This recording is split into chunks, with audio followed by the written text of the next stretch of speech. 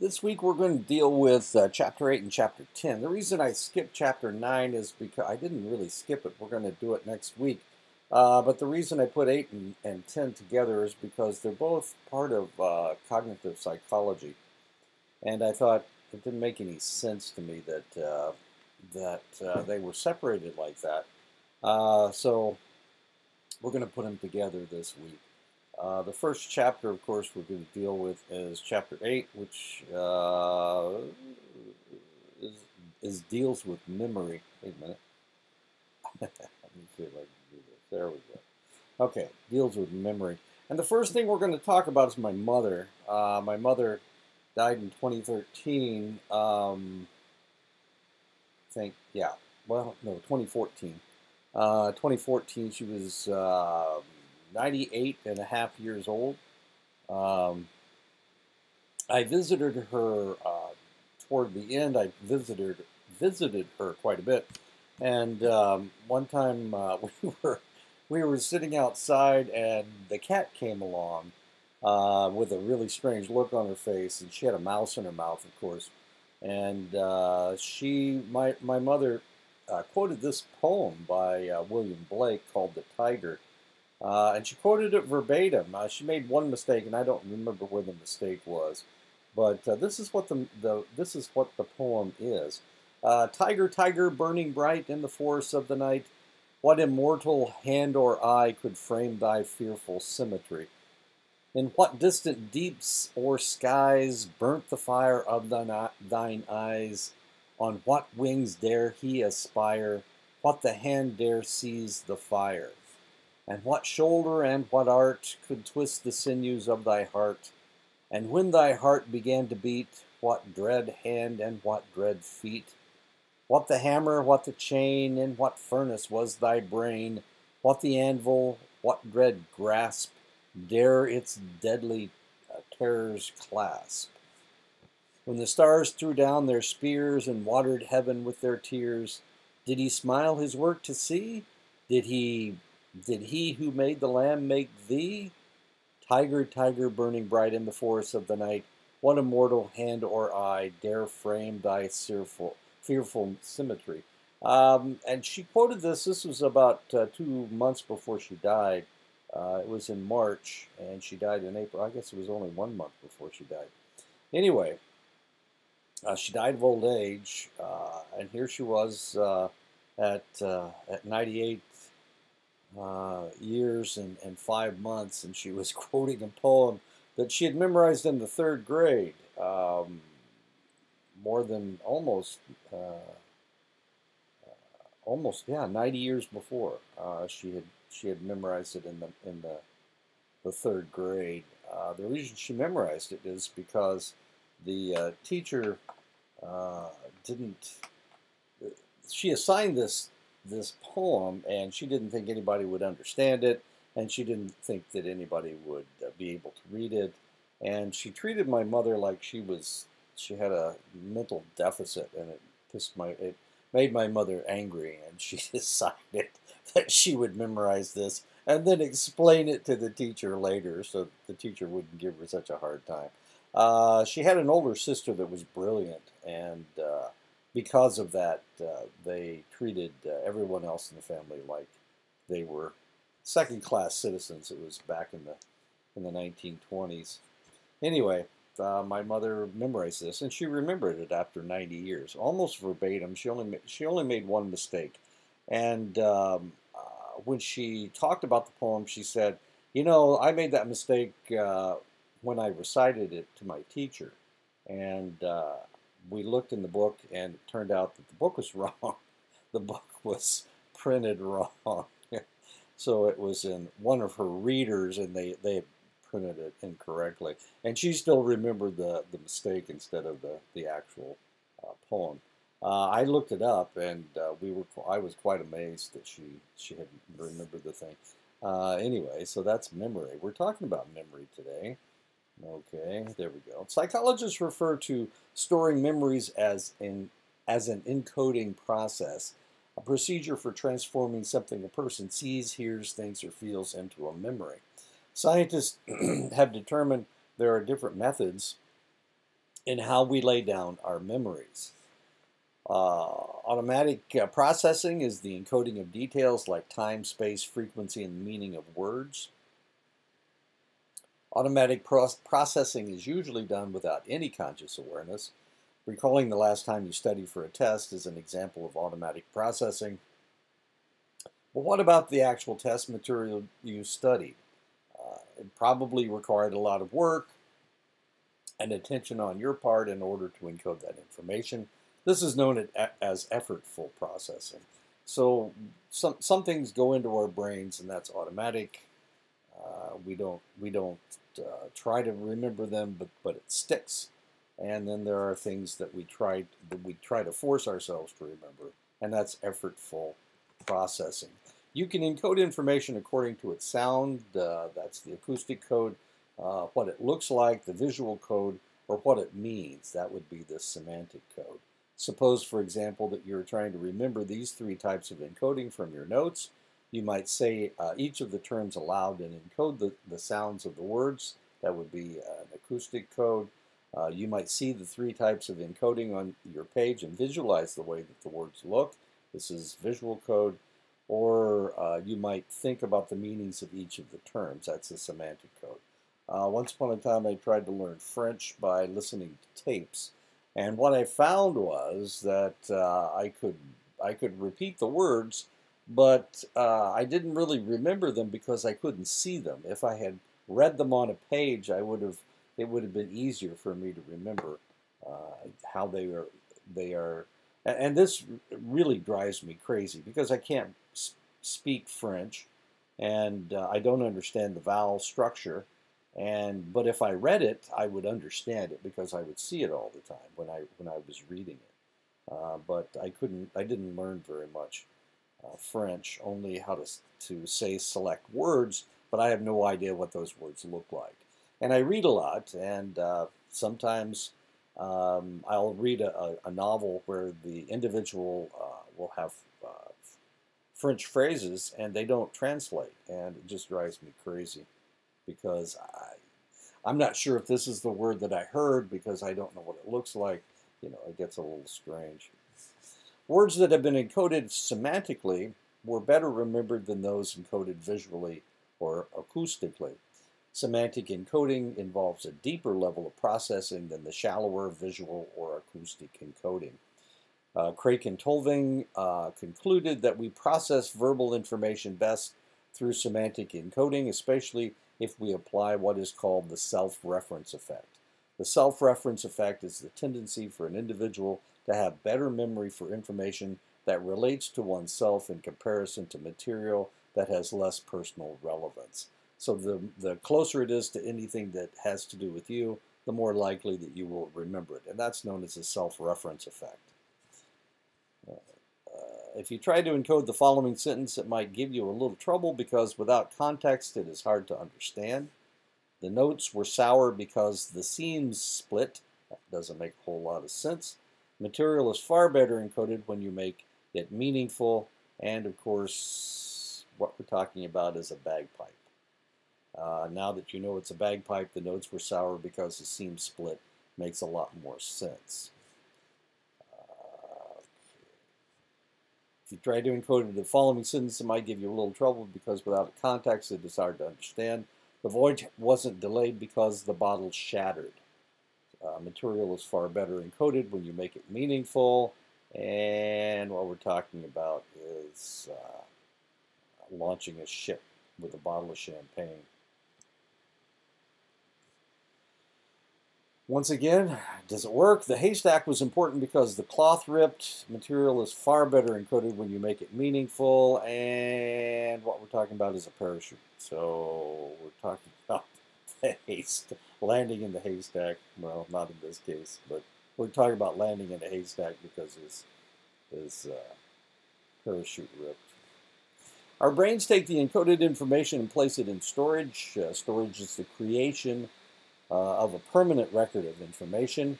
Uh, in order for a memory to go into storage, uh, for example, long-term memory, it has to pass through the three distinct stages, sensory memory, short-term memory, and finally long-term. The Atkinson and Shiffrin's model is based on the belief that we process memories in the same way that we that a computer processes information. The Atkinson-Shiffrin model uh, stimuli from the environment are processed uh, first in sensory memory, uh, storage of brief sensory events such as sights, sounds, and tastes. It is very brief storage, up to a couple of seconds. Uh, we're constantly bombarded with sensory information. Uh, we can absorb all of it, or even most of it, and most uh, of it has no impact on our lives. Sensory information we do not view as valuable information we discard. So there's a lot of information coming in right now. Uh, what's going on in the background uh, around your house as you're listening to me, uh, what you're potentially what you're looking at. Uh, if you're looking at something on the wall, uh, then that will probably not. Uh, that will probably be discarded. Short-term memory is a temporary storage system that processes incoming sensory memory. the terms short-term and working memory are sometimes used interchangeably but they are not exactly the same. Short-term memory is, is more accurately uh, described as a component of working memory. Short-term memory takes information from the sensory memory and sometimes connects that memory to something already in long-term memory. Short-term memory storage lasts uh, 15 to 30 seconds. So if you don't process it in 15 to 30 seconds, you lose it. Rehearsal uh, moves information from short-term memory to long-term memory. Uh, active rehearsal is a way to attend uh, to information to move it from short-term to long-term memory. During active rehearsal, you, you repeat practice, you repeat or practice the information to be remembered. Uh, if you repeat it enough, it may be moved into long-term memory. I think that's Britney Spears. Well, maybe not. Who knows? In 1956, George Miller reviewed uh, most of the research on capacity of short-term memory and found that people can retain between five and nine items, so he reported the capacity of short-term memory was the magic number 7 plus or minus 2. Uh, however, more contemporary research has found working memory capacity is 4 plus or minus 1. Uh, generally, rec recall is somewhat better for random numbers, than for random letters, and also uh, often slightly better for information we hear acoustic encoding rather than information we see visual encoding. Long-term memory uh, is the continuous storage of information. Uh, unlike short-term memory, long-term memory storage capacity is believed to be unlimited. Uh, it encompasses all things you can remember that happened more than just a few minutes ago, it is gener generally accepted that memories are organized in semantic or associative networks. There are two types of long-term memory, explicit and implicit. Uh, understanding the difference between explicit memory and implicit memory is important because aging, particular uh, types of brain trauma, and certain disorders can impact explicit and implicit memory in different ways. Explicit memories are those that we consciously try to remember, recall, and report. Explicit memory is sometimes referred to as declarative memory because it can be put into words. Explicit memory is divided into episodic memory and semantic memory. Episodic memory is information that, that events about events that we have personally experienced, uh, for example, an episode. Oh, as an the memory of your last birthday is an episodic memory. Uh, usually, episodic memory is reported as a story. Episodic memory is memory about happenings in particular places at particular times, and what and where and when uh, of an event. It involves recollection of visual imagery as well as the feeling of familiarity Semantic memory is knowledge about words, concepts, and language-based uh, knowledge and facts. Uh, semantic memory is typical, typically reported as facts. Semantic means having to do with language and knowledge about language. Implicit memories are long-term memories that are not part of our consciousness. Although implicit memories are learned uh, outside of our awareness and cannot be consciously recalled, Implicit memory is demonstrated in the performance of uh, some task. implicit memories can influence observable behaviors as well as cognitive tasks. Implicit procedural memory stores uh, information about the way to, to do something, and it is the memory uh, uh, for skilled actions such as brushing your teeth, riding a bicycle, or driving a car.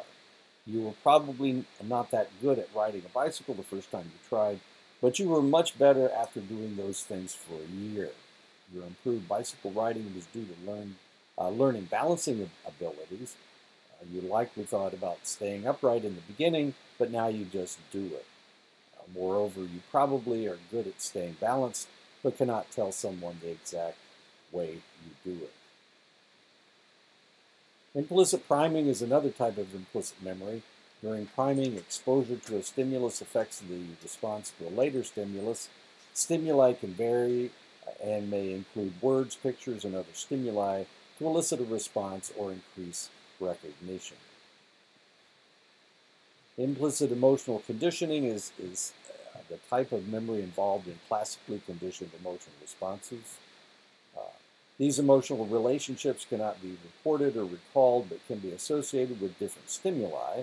For example, specific smells can cause specific emotional responses for some people. If there is a smell that makes you feel positive and nostalgic, and you don't know where the, that response comes from, it is an implicit emotional response. Similarly, most people have a strong that causes a specific emotional response. Uh, that uh, song's effect could be an implicit emotional memory. Oops, I'm sorry. Uh, the act of getting information out of uh, memory storage and back into consciousness, conscious awareness is known as retrieval. Uh, our ability to retrieve information from uh, long-term memory is vital to our everyday functioning.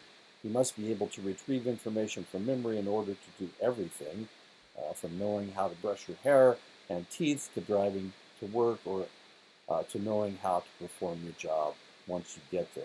Good dog, you saved the child from getting in the mud and then you went and, and retrieved whatever it was she was trying to get out of the water. there he goes. There he got the toy. Good job. There are three ways uh, you can retrieve information out of your long-term memory uh, storage system. Uh, recall, recognition, and relearning. Recall is uh, what we most often think about uh, when we talk about memory retrieval. It means you can access information without cues. For example, you would use recall for an essay test. Recognition uh, happens when you identify information that you have previously learned after encountering it again. It involves a process of comparison. When you take a multiple choice test, you are relying on recognition to help you choose the correct answer. Let's say you graduated from high school 10 years ago and you have returned to your hometown for your 10-year reunion, you may not be able to recall all of your classmates, but you recognize many of them based on their yearbook uh, photos. The third form of retrieval is relearning, and it's just about uh, what it sounds like. It uh, involves learning information that you previously learned. Whitney took Spanish in high school, but after high school she did not have the opportunity to speak Spanish. Whitney is now 31 and her company has offered her an opportunity to work in Mexico City office. In order to prepare herself, she enrolls in a Spanish course at the local community center. She's surprised at how quickly she's able to pick up the language after not speaking it for 13 years. This is an example of relearning. The same thing happened to me when uh, I took uh, Spanish in high school, two years of Spanish in high school, and two years of Spanish in college. Uh, but it wasn't really conversational Spanish it was kind of like, well, it was reading. Uh, and I can read Spanish to this day, but I can't speak it very well. Anyway, uh, when we were, uh, when I was stationed in, in Europe, we were playing a, the European Championship softball tournament in, uh, in Madrid, Spain. And uh, we went downtown and and I could actually understand what people were saying to me. That was that was weird. I had spoken Spanish and uh, this was in uh, what 81 I hadn't spoken Spanish since uh, 71 no, 769, and here it was 1981, and I understood what they were talking about. Uh, the main job of the amygdala is to uh, regulate emotions such as fear and aggression. Uh, the amygdala plays a part in how memories are stored because storage is influenced by stress hormones. Because of its role in processing uh, emotional information, the amygdala is also involved in memory consolidation the process of transferring new learning into long-term memory. Uh, the amygdala seems to facilitate encoding memories at a deeper level when the event is emotionally arousing. The hippocampus is involved in memory, specifically normal rec uh, recognition memory as well as spatial memory when the memory tasks are like uh, recall tests. Uh, another job of hippocampus is to pro project information to cortical regions uh, that give memories meaning and connect them with other memories. It also plays a part in memory consolidation, uh, the process of transferring new learning into long-term memory. And that's what the hippocampus looks like. It's right there. It's right there. And you saw the amygdala, which is right at the end uh, of the hippocampus.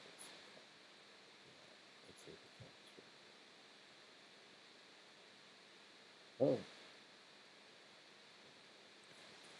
Injury to the hippocampus leaves us unable to process new declarative memories. One famous patient known for years only as HM had both his left and right temporal lobes, the hippocampi, uh, removed in an attempt to help control seizures he had been suffering uh, from for years.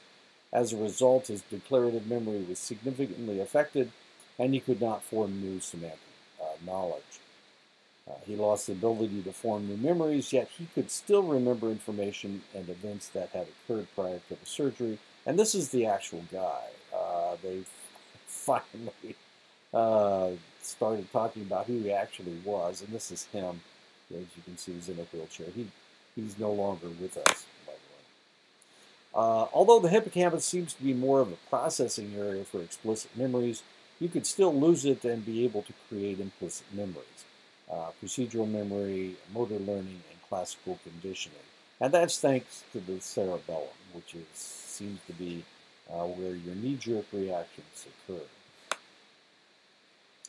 Other researchers have used brain scans, including positron emission tomography, uh, to learn how people process and retain information. From these studies, it seems the prefrontal cortex is involved, uh, recall is much better for a semantic task than for a perceptual task. According to PET scans, there is much more activation in the left inferior prefrontal cortex in the semantic task. Studies have shown that encoding is associated with left frontal activity, while retrie retrieval of information is associated with the right frontal region. So if you had a blow to your head, uh, you, would, you would still be able to retrieve information as long as the blow wasn't to the right side of the of your forehead. Uh, and this has this is, has something to do with amnesia. If you get a blow to the left side of your head, you can't process information, you can't encode information anymore. If you get a blow to the right side of your of your uh, forehead, uh, then you you uh, have difficulty retrieving information. There are also appears to be specific neurotransmitters involved with the processing memory, such as epinephrine, dopamine, serotonin, glutamate, and acetylcholine. There continues to be uh, discussion and, de and debate among researchers as to which neurotransmitter plays which specific role. Although we don't uh, yet know which role each neurotransmitter plays in memory, uh, we do know that communication among neurons via neurotransmitters is critical for developing new memories. Repeated activity by neurons leads to increased neurotransmitters in the synapses and more efficient and more synaptic connections. This is how memory consolidation occurs. It is also believed that strong emotions trigger the formation of strong memories and weaker emotional experiences form weaker memories. This is called the arousal theory. This was uh, written by Christianson in 1992. For example, strong emotional experiences can trigger the release of neurotransmitters as well as hormones, which strengthen memory. Therefore, our memory for an emotional event is usually better than our memory for a non-emotional event. When humans and animals are stressed, the brain secretes more of the neurotransmitter glutamate, which helps them remember the stressful event. A flashbulb memory is an exceptionally clear recollection of an important event. Most likely you can remember where you were and what you were doing when you heard of the 9-11 uh, terrorist attacks.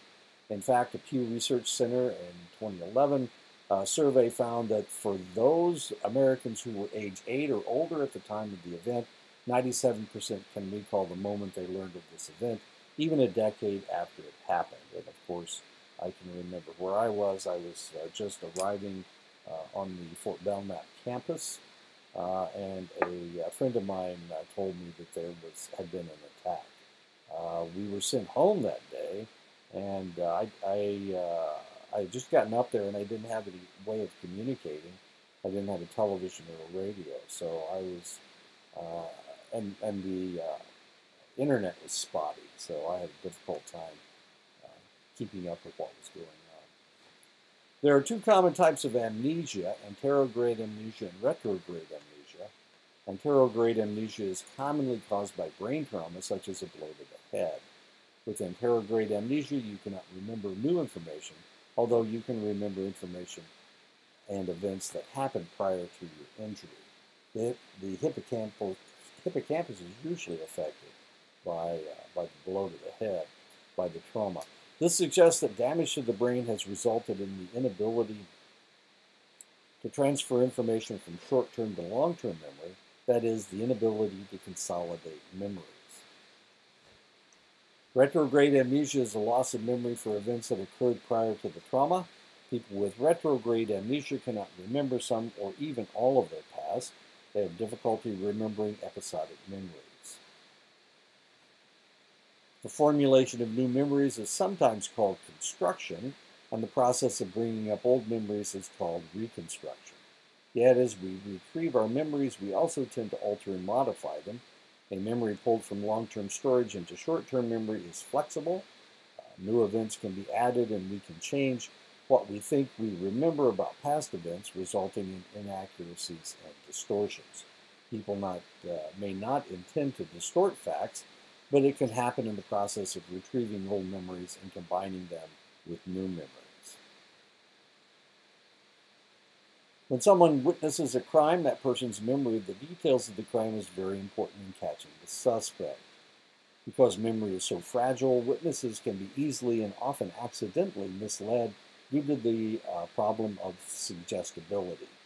Suggestibility describes the effects of misinformation from external uh, sources that leads to the creation of false memories. Even though memory and the process of reconstruction can be fragile, Police officers, prosecutors, and the courts often rely on eyewitness identification and testimony in the prosecution of criminals. However, faulty eyewitness identification and testimony can lead to wrongful convictions.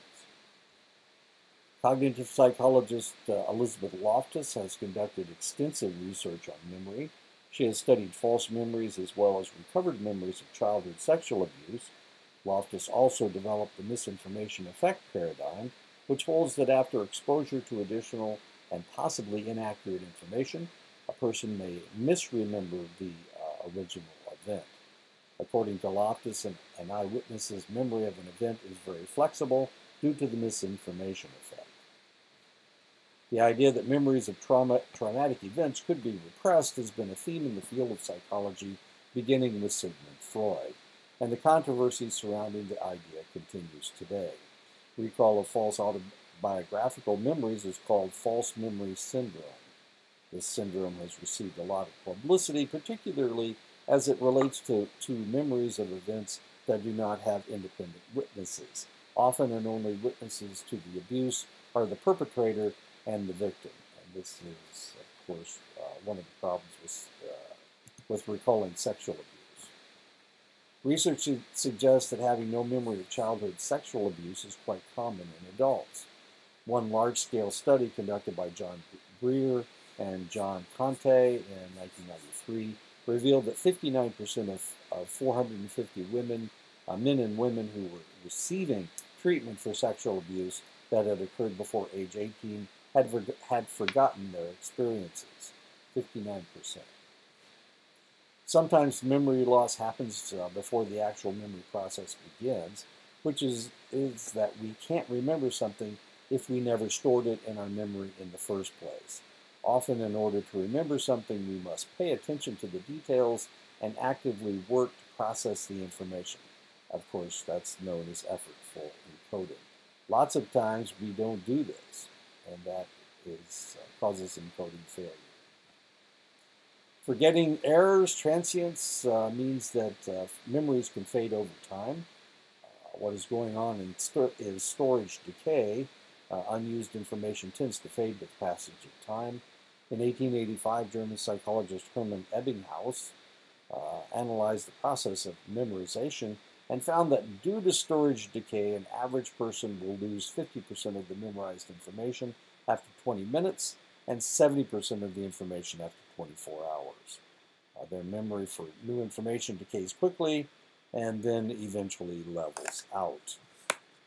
We are all prone to committing the memory error known as absent-mindedness, uh, which describes lapses in memory caused by breaks in attention or our focus being elsewhere uh, somewhere else. Um, when, when, I was when I was teaching at uh, at the college uh, and going from my office to the uh, to the classroom, I had to uh, I, I, packed up all my stuff and, and I took off uh, in time to get there before I needed to be there. but one of the things that I had to always do was make sure I had everything that I wanted, that I hadn't forgotten anything, uh, that uh, I had my shoes on or whatever. Uh, I never forgot my pants. Of course, I never took my pants off at work, but that's, uh, you know, um, I had to make sure I had my, my briefcase and my backpack and, and, uh, and everything I needed. Because uh, sometimes you just, you're thinking about something else and you just forget things. Not usually your pants. Actually, uh, that's a dream I keep having is the fact that I'm going to class and I've forgotten my pants. and I can't find them. And now I have to uh, run around campus looking for them. It's, it's, it's one of those horror stories, I guess. With blocking, you can't access uh, stored information. Uh, this is also called the tip of the tongue phenomenon, blocking. Uh, as funny as that is. Misattribution happens when you confuse the source of your information with the mis misattribution, you create the false memory entirely on your own. With su suggestibility, the misinformation comes from someone else, such as a therapist or police interviewer asking leading questions of a witness during an interview. And this is known as suggestibility. Schachter in 2001 says that your feelings and the view of the world can actually distort your memory of past events. Stereotypical bias involves racial and gender biases. Uh, egocentric bias uh, involves enhancing our memories of the past. Hindsight bias happens when we think an outcome has inevitable uh, was inevitable after the fact. This is the I knew it all along phenomenon. Uh, so those are three different biases. When you keep remembering something to the point where you can't get it out of your head and it interferes with your ability to concentrate on other things, it is called persistence. Persistence is actually a failure of your memory system because you involuntarily recall unwanted memories, particularly unpleasant ones. Many veterans of military conflicts involuntarily recall unwanted, uh, unpleasant events. If you wake up with a song in your head and you can't get it out all, all through the day, it's known as a memory worm. And uh, uh, I, I had those I, I, have those all the time. I'll wake up with a song in my head and I can't get it out of my head. It's an earworm. I'm sorry. It's known as an earworm.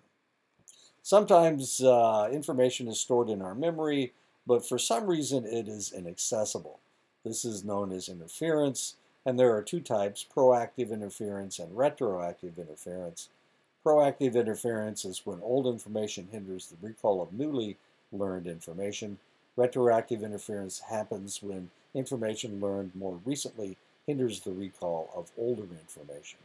Uh, if you're working with a computer and you get a new computer, then the uh, you, you try to use the new computer the same way you use the old computer, Uh, that would be uh, retroactive interference. No, that's proactive interference. I'm sorry. Okay. To help make sure information goes from short-term memory to long-term memory, you can use memory enhancing strategies. One uh, strategy is rehearsal or the uh, conscious repetition of information to be remembered. After memory enhancing, these are all mnemonics. Mnemonics are uh, things to help you remember things. Rehearsal is one way to do it. That's what he's using. He's repeating things. Of course, he gets his fork and his knife mixed up. Another memory enhancing strategy is chunking, where you organize information into manageable bits or chunks. Chunking is useful when trying to remember information like dates and phone numbers. Instead of trying to remember 520-555-0467, you remember the number as 520-555-0467. This is chunking. Uh, you can enhance memory by using elaborative rehearsal, which is a technique in which you think about the meaning of new information and its relation to knowledge already stored in your memory. Elaborative rehearsal involves both linking the information to knowledge already stored and repeating the information. So it is rehearsal. Mnemonic devices are memory aids that help us organize information for encoding. They are especially useful when we want to recall larger bits of information such as steps, stages, phases, and parts of the system.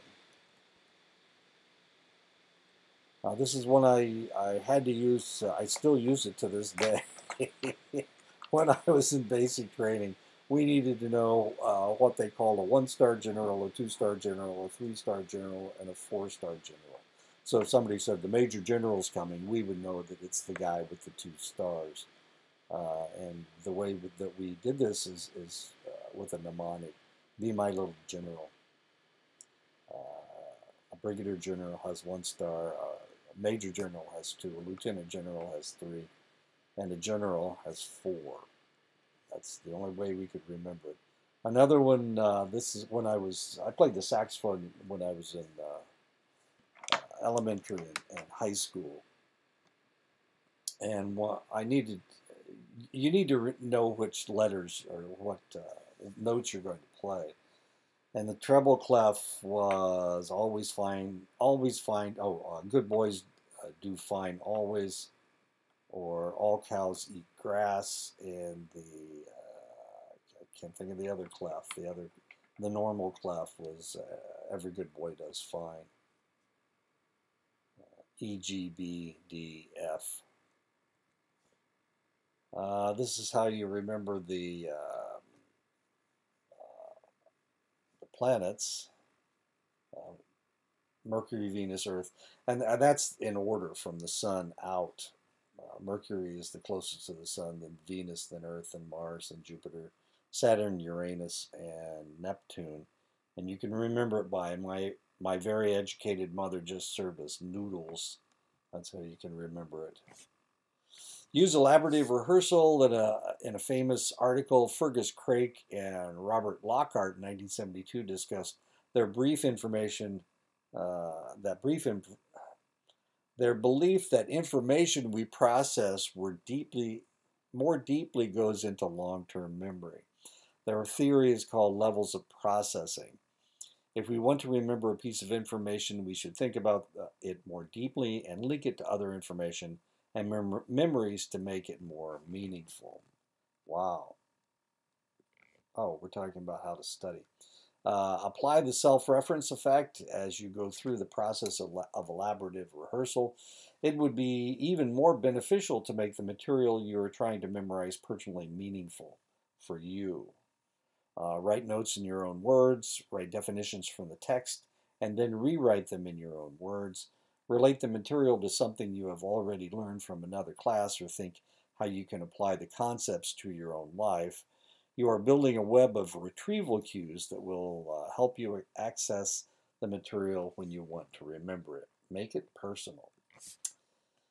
Use uh, distributed practice, uh, study across time in short durations rather than trying to cram it all in, in uh, all at once. Memory consolidation takes time, and studying across time allows time for memories to consolidate. Cramming can cause the links between concepts to become so active that you get stuck in a link and it prevents you from accessing the rest of the information that you learned. And maybe you had this problem when you were taking a test. Uh, you started taking a test, and, and by golly, the same piece of information keeps flipping around in your head. And uh, so you remember one part of the test, but you can't remember the rest.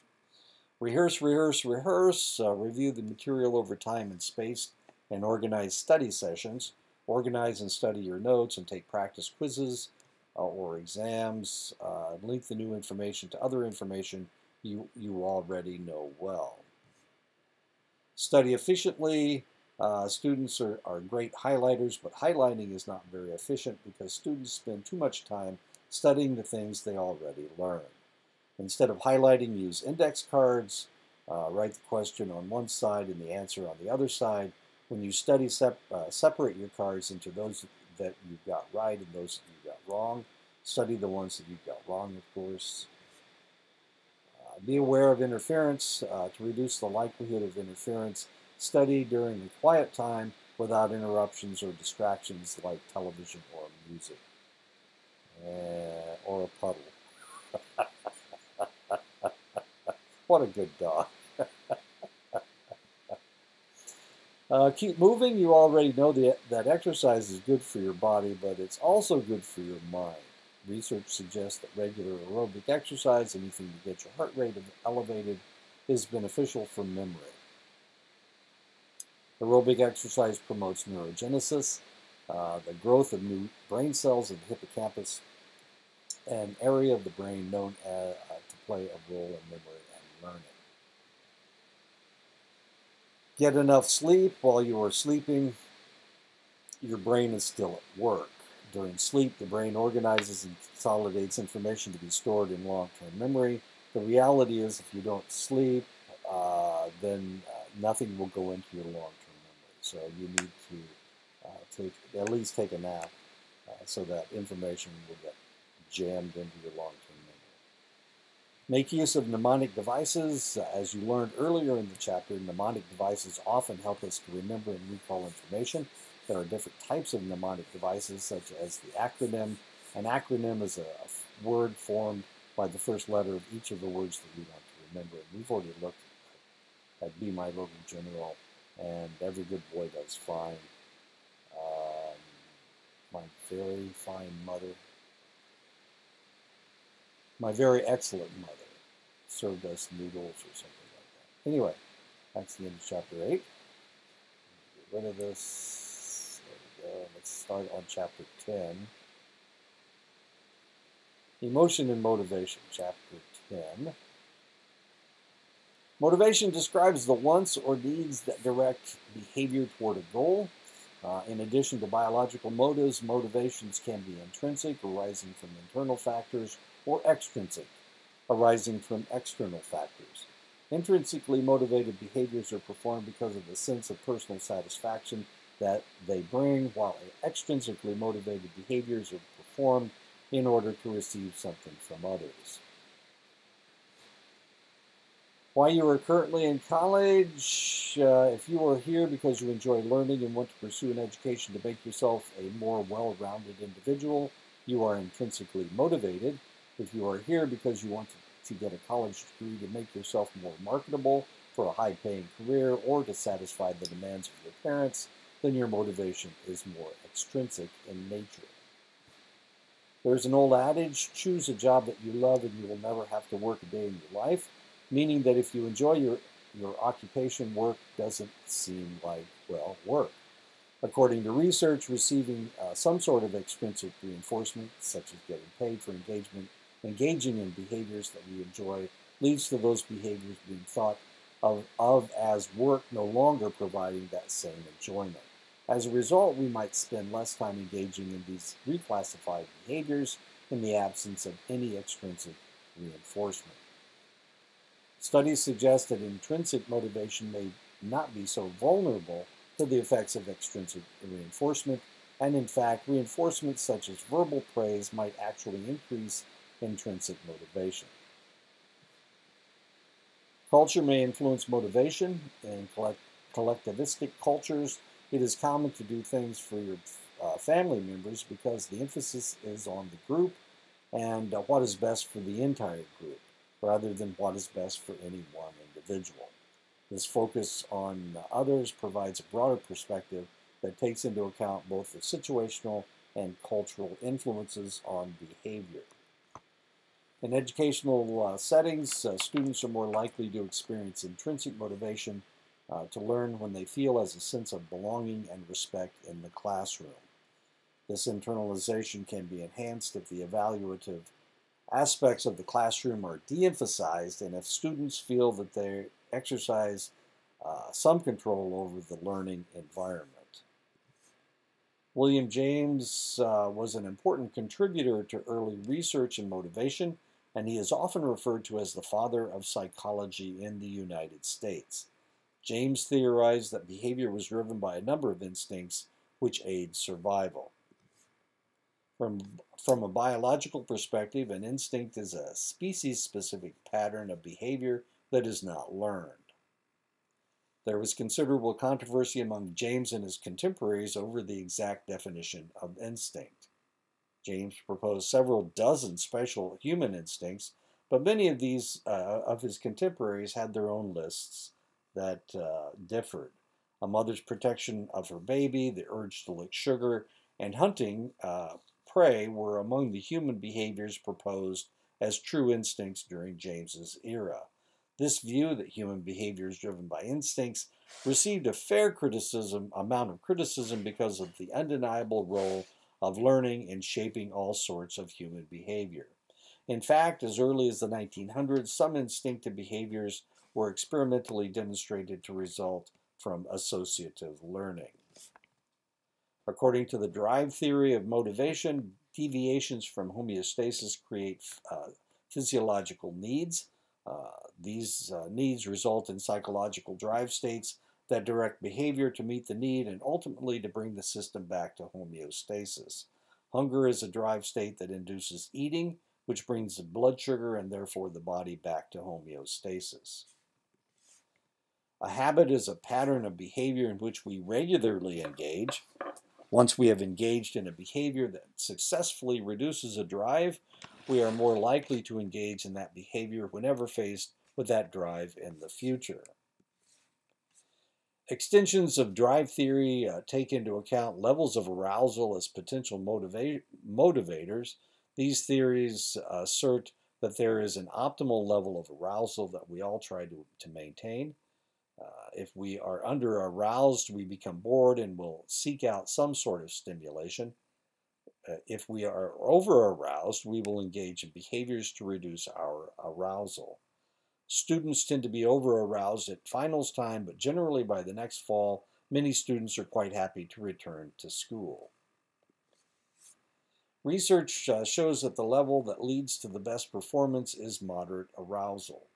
When arousal is very high or very low, performance tends to suffer. And this is according to Yerkes and Dodson in 1908. Researchers Yerkes and Dodson discovered that the optimal arousal level depended on the complexity and difficulty of the task to be performed. Yerkes-Dodson law holds that a simple task is performed best when arousal levels are relatively high, and complex tasks are best performed when arousal levels are low. And this is Yerkes and Dodson. That's Yerkes on the top, and that's Dodson on the bottom. Self-efficacy is an individual's belief in her own ability, a capability to complete a task, which may include a previous successful completion of the exact task or a similar task. Albert Bandura in 1994 theorized that an individual's sense of self-efficacy plays a pivotal role in motivating behavior. Bandura, Bandura argues that motivation derives from expectations that we have about the consequences of our behaviors, and ultimately it is the appreciation of our capacity to engage in a given behavior that will determine what we do and the future goals that we set for ourselves. Some theorists have focused their research on understanding social motives. Among the motives they describe are needs for achievement, affiliation, and intimacy. It is the need for achievement that drives accomplishment and performance. Uh, the need for affiliation encourages positive interactions with others, and the need for intimacy causes us to seek deep, meaningful relationships. Affiliation is the one that you need to remember here. Affiliation has to do with uh, interacting with others. Abraham Maslow in 1943 proposed a hierarchy of needs that spans the spectrum of motives, ranging from the biological to the individual to the social. These needs are often depicted as a pyramid. And as you can see at the bottom of the pyramid are your physiological needs. And of course, these have to be met first. We need water, food, uh, shelter, sleep, clothing, reproduction. Uh, the next level is your safety needs, your personal security, employment, resources, health, property. Uh, the next level is love and belonging, friendship, intimacy, family, uh, sense of connection. And then esteem is the next level, and self actualization is the last level. Uh, and of course, uh, as far as we're dealing with this, if you're a social worker and you're, you're interacting with somebody that is in need, uh, the first thing you need to make sure is that their physiological needs are taken care of. And secondly, that their safety needs are taken care of. Then you can worry about all the other things uh, that uh, uh you're dealing with. At the base of the pyramid are, all the physiological needs that are necessary for survival. These are followed by basic needs for security and safety that need to be loved, the need to be loved and to have a sense of belonging, and the need to have self-worth and confidence. The top tier of the pyramid is self-actualization, which is a need that essentially equates to achieving one's full potential. And it can only be realized when needs uh, lower on the pyramid have been met. To Maslow and humanistic theorists, self-actualization reflects the humanistic emphasis on positive aspect, aspects of human nature.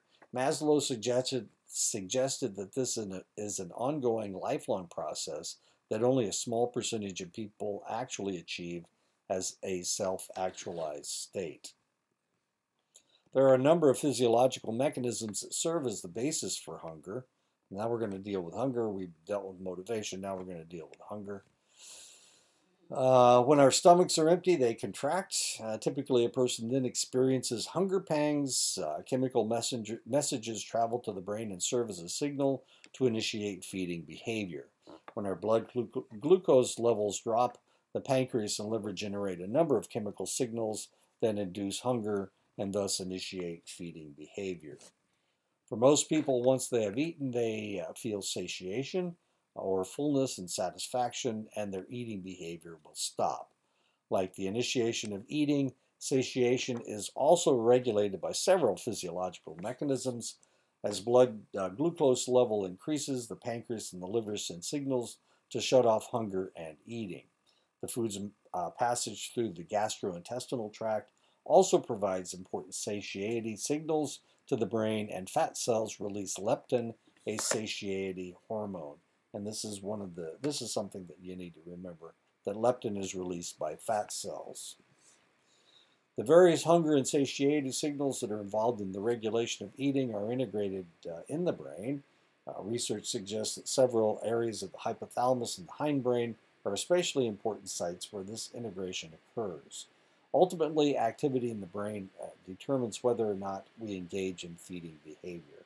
And that is your hypothalamus right there, that lump of red, as you can see as it twists around. There you go. And right below it is the pituitary gland, anyway, the hypothalamus. Our body weight is affected by a number of factors, including gene, uh, environment, interactions, and the number of calories we consume versus the number of calories we burn in daily activity. If our caloric intake exceeds our, our caloric use, our bodies store excess energy in the form of fat. If we consume fewer calories uh, than we burn off, then stored fat will be converted to en energy. Our energy expenditure is obviously affected by our levels of activity, but our body's metabolic rate also comes into play. A person's metabolic rate is the amount of energy that is expended in a given period of time and there is tremendous individual variability in our metabolic rates. People with high rates of metabolism are able to burn off calories more easily than those with lower rates of metabolism. The set point theory asserts that each individual has an uh, ideal body weight or a set point which is resistant to change. The set point is genetically predetermined, and efforts to move our weight significantly from the set point are resisted by compensatory changes in energy intake uh, and or expenditure. And these are the five different types of uh, uh, body types. Uh, you have a pear, you have triangle, an apple, a rectangle, and an hourglass. My weight set point is somewhere in the somewhere between 185 and 195. Um, before COVID, uh, I was bouncing between 185 and 190. Uh, since COVID, I've been bouncing uh, between 190 and uh, 196, 195.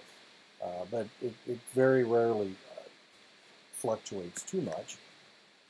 anyway, that's my weight set point. Uh, when someone weighs more than uh, what is generally accepted as healthy for a given height, they are considered overweight or obese. According to the Centers for Disease Control and Prevention, uh, an adult with a body mass index uh, between 25 and 29.9 is considered overweight.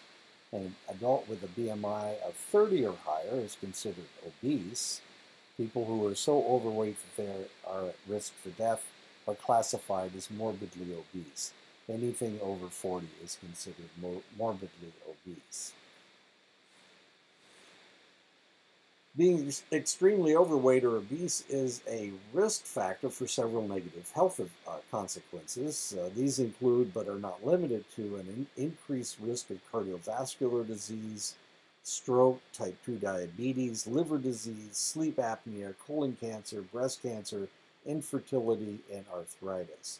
Given that it is estimated that in the United States around one third of the adult population is obese, and that nearly two thirds of adults and one in six children qualify as overweight. There is substantial interest in trying to understand how to combat this important public health concern. Generally, overweight and obese individuals are encouraged to try to reduce their weights through a combination of both diet and exercise.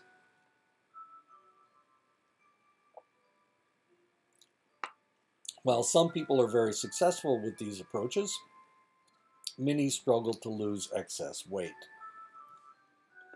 Bariatric surgery is a type of surgery specifically aimed at weight reduction, and it involves modifying the gastrointestinal system to reduce the amount of food that can be eaten and or limited, limiting how much of the digestive food uh, can be absorbed. A recent meta-analysis suggests that bariatric surgery is more effective than non-surgical treatment for obesity in the two, year, two years immediately following the procedure. And as you can see, uh, in some of these, they're uh, restructuring the stomach. Uh, in others, they're just pinching it off, as with the lap band. Um, the uh, picture in your book uh, shows a lap band procedure but there are a number of ways you can uh, uh, you can get around your stomach. People suffering from bulimia nervosa engage in binge eating behavior that is followed by an attempt to compensate for the large amount of food consumed. Purging the food by inducing vomiting or through the use of laxatives are two common compensatory behaviors. Some affected individuals engage in excessive amounts of exercise to compensate for their binges. Bulimia is associated with many adverse health consequences that can include kidney failure, heart failure, and tooth decay. In addition, these individuals often suffer from anxiety and depression, and they are at an increased risk for substance abuse. The lifetime prevalence rate for bulimia nervosa is estimated at around 1% for women and less than 0.5% for men. Now, one of the reasons why you have a problem with tooth decay is because uh, you stick your fingers down your throat and force yourself to uh, vomit. When the uh, vomitus comes up, Uh, it uh, washes into your mouth and the back of your teeth. The uh, stomach acids eat, eat away the back of your teeth, making what they refer to as shadow teeth. Unlike with bulimia, binge eating disorder is not followed by inappropriate behavior such as purging, but they are followed by distress, including feelings of guilt and embarrassment. The resulting psychological distress distinguishes binge eating disorder from overeating. And uh, I found a picture, I found a lot of pictures, and some of them were pretty nasty. Uh, this is a normal sized person who is just eating like crazy. Uh, the others were a little bit insulting. Uh, some morbidly obese people that were binge eating. There was one of a, a lady that said when she's eating and uh, she hasn't finished all of her food, she massages her stomach uh, to force more food down into her stomach. It was really kind of strange. Anorexia nervosa is an eating disorder characterized by the maintenance of a body weight well below the average through starvation and or excessive exercise. Individuals suffering from anorexia nervosa often have a distorted body image, uh, referenced in literature as a type of body dysmorphia, meaning that they view themselves as overweight even though they are not like bulimia nervosa and anorexia nervosa is associated with a number of significant negative health outcomes, bone loss, heart failure, kidney failure, amenorrhea, cessation of menstrual periods, uh, reduced function of the gonads, and in extreme cases, death. Furthermore, there, there is an increased risk for a number of psychological problems, which include anxiety disorders, mood disorders, and substance abuse. Estimates of the prevalence of anorexia nervosa vary from study to study, but generally range from just under 1% to just over 4% in women. Generally, prevalence rates are considerably lower for men. While both anorexia and bulimia nervosa occur in men and women of many different cultures, Caucasian females from Western societies tend to be the most at risk population. Recent research indicates that females between the ages of 15 and 19 are most at risk, and it has long been suspected that these eating disorders are culturally bound phenomena that are related to the messages of a thin ideal often portrayed in popular media and especially the fashion world. As you can see, all these women are anorexic. They look anorexic to me. There is considerable evidence that sexual motivation, now we're going to talk about human sexuality. Uh, there's is considerable evidence that sexual motivation for both men and women varies as a function of circulating testosterone levels, though many people have been scandalized by psychology's interest in sexual relations. Freud's identification of sexual repression causing social and mental problems has made sex a ripe subject, subject for research. Alfred Kinsey in the 1940s described a remarkably diverse range of sexual behaviors and experiences in his research. You have to understand that uh, before Kinsey in the 1940s, uh, people thought everybody did everything exactly the same. Uh, society dictated uh, everything, including your sexual behavior. Behaviors that had once been considered exceedingly rare or problematic were demonstrated to be much more common and innocuous than previously imagined. To show this, Kinsey developed a continuum known as the Kinsey scale that is still commonly used today to categorize an individual's sexual orientation. According to that scale, sexual orientation is an individual's emotional and erotic attractions to same-sex individuals, homosexual, opposite-sex individuals, heterosexual, or both, or both, bisexual. And that is the Kinsey scale. And I have a, an example of it right here. That's the Kinsey scale. In the 1960s, Masters and Johnson measured human response to masturbation and the act of coitus. Uh, in total, Masters and Johnson observed nearly 10,000 sexual acts as a part of their research. Based on these observations, Masters and Johnson divided the sexual response cycle into four phases that are fairly similar in men and women. The first stage is the excitement stage, the second is the plateau stage, The third is the orgasm, and the last is the resolution stage. The excitement phase is the arousal phase of the sexual response cycle and is marked by the erection of the penis or clitoris and lubrication and expansion of the vaginal canal. During plateau, women experience further swelling of the vagina and increased blood flow to the labia minora, and men experience full erection and often exhibit pre-ejaculatory fluid. Both men and women experience increase, increases in muscle tone during this time. Now these are interesting pictures over here on the right. This is uh, this uh, video actually um, uh, accompanied Masters and Johnson's presentation. So this is actually from the Masters and Johnson presentation. I did. I couldn't find the whole thing. Well, I, I don't usually put those in there. I, I, thought this was kind of interesting. Anyway, this is from Masters and Johnson, who eventually got married, by the way. Orgasm is marked in women by rhythmic contractions of the pelvis and uterus, along with increased muscle tension. In men, pelvic contractions are accompanied by a buildup of seminal fluid during, uh, near the urethra that is ultimately forced out by contractions of genital muscles, and this is known as ejaculation. Resolution is a relatively rapid return to unaroused states, uh, accompanied by a decrease in blood pressure and muscular relaxation. While many women can quickly repeat the sexual response cycle, men must pass through a longer refractory uh, period as part of, of uh, resolution. The refract refractory period is a period of time that follows an orgasm during which an individual is incapable of experiencing another orgasm. In men, the duration of the refractory period can vary dramatically from individual to individual, with some refractory periods as short as several minutes and others as long as a day. As men age, their refractory periods tend to span longer periods of time. While the majority of people identify as heterosexual, there is a sizable population of people within the United States who identify as homosexual, bisexual, pansexual, asexual, or other non heterosexualities. Research suggests that somewhere between 3% and 10% of the population identifies as homosexual. Bisexual people are attracted to people of their own gender and other and another gender. Pansexual people experience attraction without regard to sex, gender identity, or gender expression. Asexual people do not experience sexual attraction or have little or no interest in sexual activity.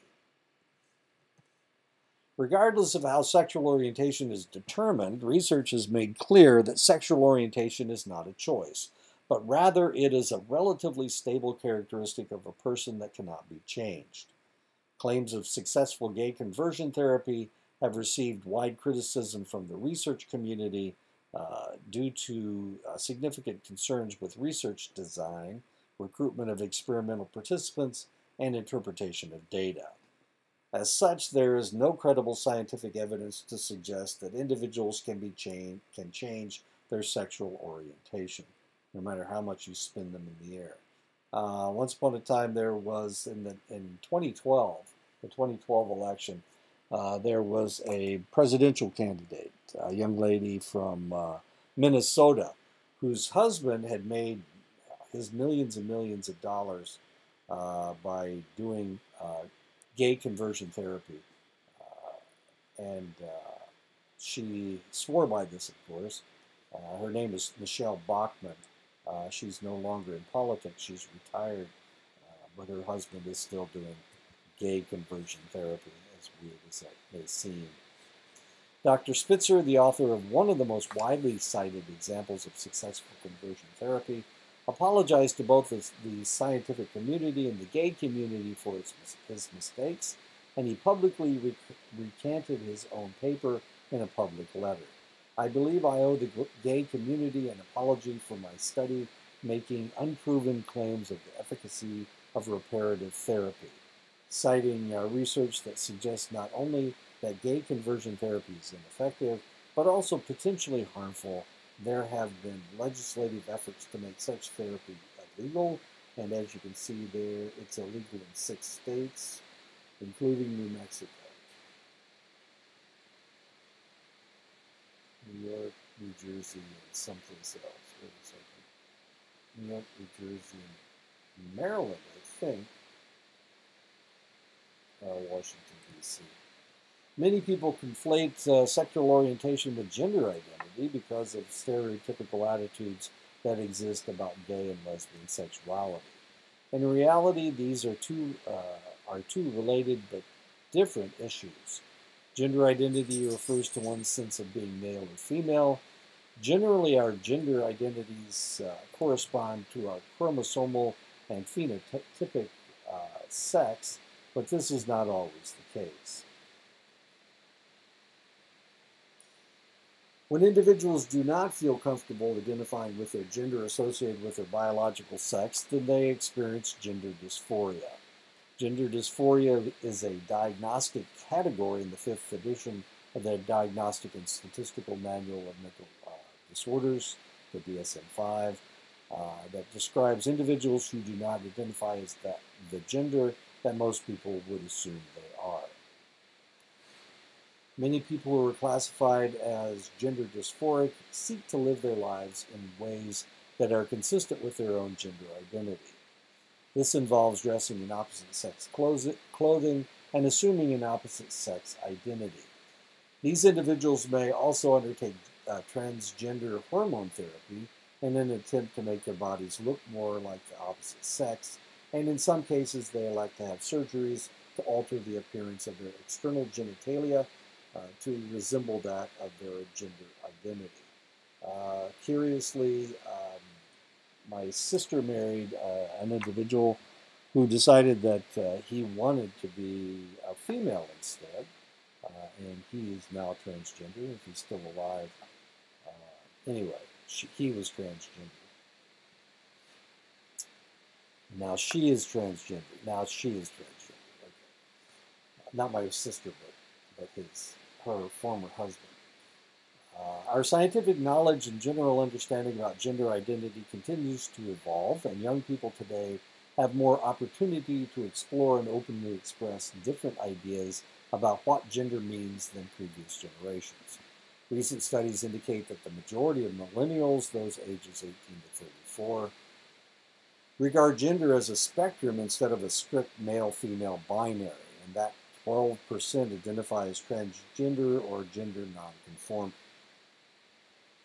Additionally, over half the people ages 13 to 20 know people who use gender neutral protein, uh, pronouns, pronouns, such as they or them.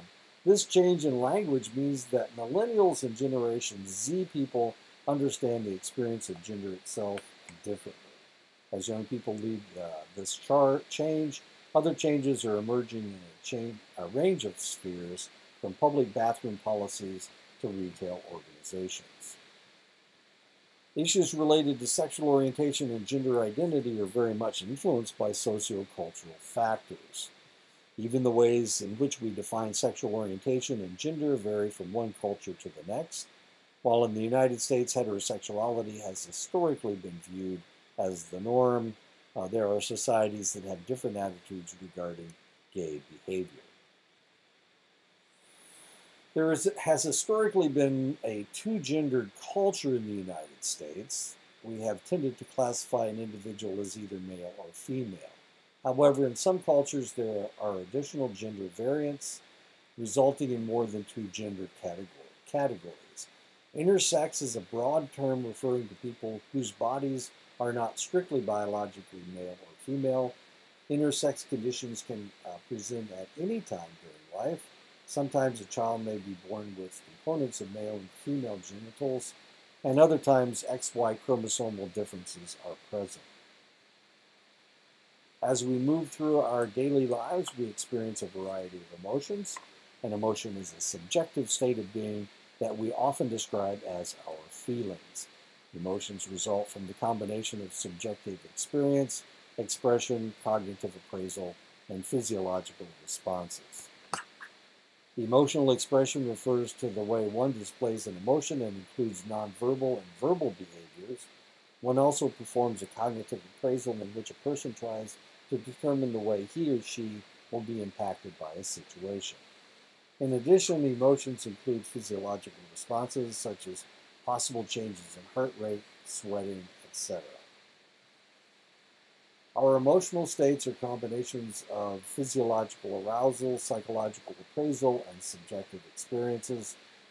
Together, these are the components of emotion, and our experiences, backgrounds, and cultures inform our emotions. Over time, several different theories of emotion have been proposed to explain how the various components of emotion interact with one another. The James Lange theory of emotion asserts that emotions arise from, from physiological arousal. The sympathetic nervous system controls our fight or flight response when threatened. Danger would arouse the sympathetic nervous system to initiate significant physiological arousal, which would make your heart race and increase your respiration rate.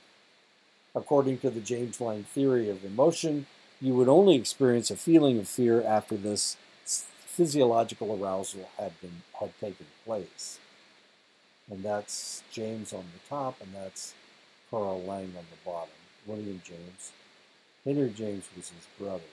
He was a writer. Henry James was a writer, and William James, of course, was a uh, psychologist, and that's Carl Lange from Sweden.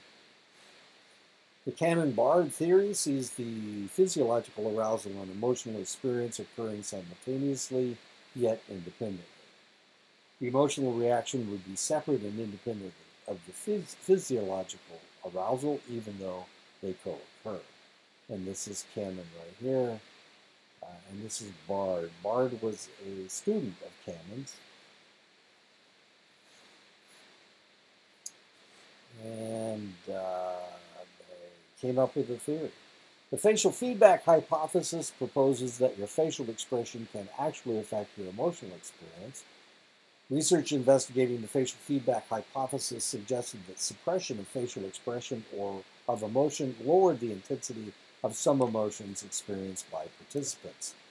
Researchers used Botox injections to paralyze facial muscles and limit facial expressions, including frowning, and they found that depressed people reported less depression after their frowning muscles were paralyzed. Other research found that the intensities of facial expressions affected the emotional reactions. A big smile will make you happier about the little thing uh, that, than you uh, would be if you only had a tiny smile.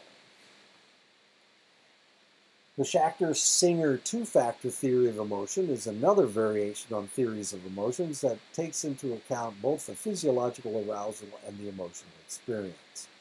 According to this theory, emotions are composed of two factors, physiological and cognitive. Physiological arousal is interpreted in context to produce the emotional experience. And this is uh, Schachter here, and this is Singer on the bottom. The relationship between our experiencing of emotions and our cognitive processing of them and the order in which these occur remains a topic of research and debate. Lazarus developed the cognitive mediational theory that asserts our emotions are determined by our appraisal of the stimulus. This appraisal mediates between the stimulus and the emotional response and is immediate and often unconscious. In contrast to the Schachter-Singer model, the appraisal precedes a cognitive label. We constantly regulate our emotions, and much of our emotion uh, regulation occurs without as us actively thinking about it. Mauss and her colleagues studied automatic, uh, this is Iris Mauss right here. She's at uh, Berkeley, UC Berkeley. Uh, Mauss and her colleagues studied automatic emotion regulation, AER, which refers to the non-deliberate uh, uh, control of emotions. It is simply not reacting to your emotions, and AER can affect all aspects of emotional processes. AER can influence the things you attend to, your appraisal, your choice to engage in an emotional experience, and your behaviors after an emotion is experienced. The idea AER is of, of AER is that people develop an automatic process that works like a script or schema, and the process does not require deliberate thought to regulate emotions. Once you develop the process, you just do it without thinking about it. Mauss and her colleagues found that strategies could reduce negative emotions, which in turn should increase uh, psychological health. Mauss has also suggested there are problems with the way emotions are measured, but she believes most of the aspects of emotions that are typically measured are useful. After about three decades of interdisciplinary research, Lisa Barrett argued that we do not understand emotions. She proposed that emotions uh, were not built into, our, into your brain or at birth, but rather that they were constructed based on your experiences. Emotions in the, in the constructivist theory are predictions that uh, construct our experience of the world. And she's at Harvard, I believe.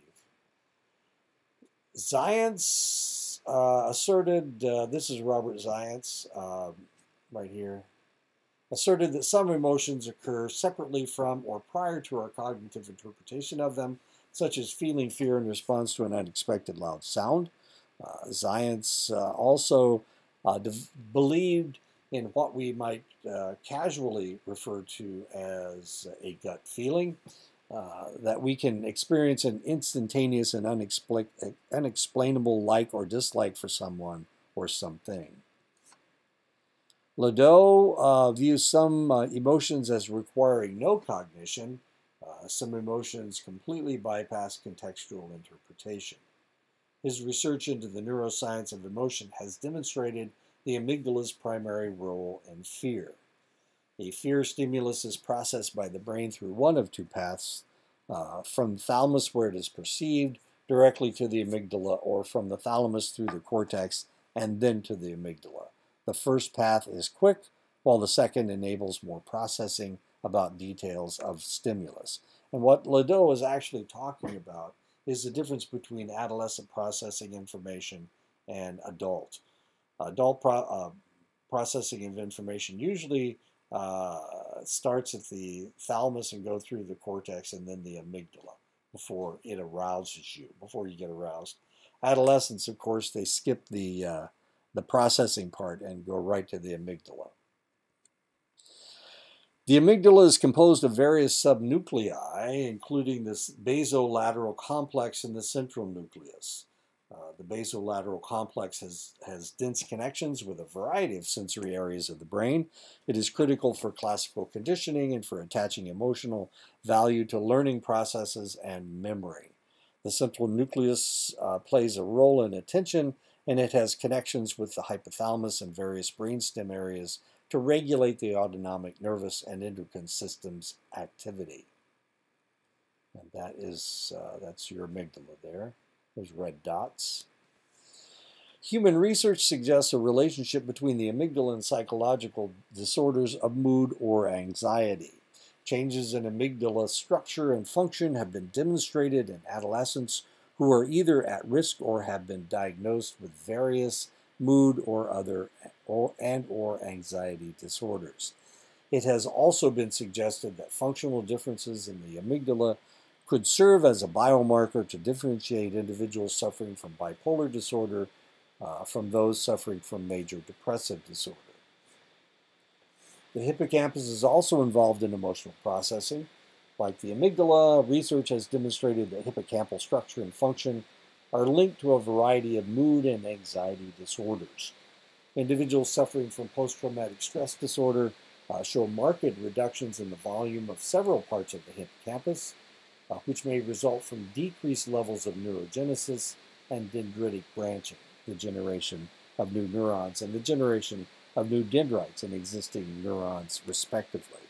While it is impossible to make a causal claim with correlational research like this, studies have demonstrated behavioral improvements and hippocampal uh, volume increases following either pharmacological or cognitive behavioral therapy in individuals suffering from PTSD.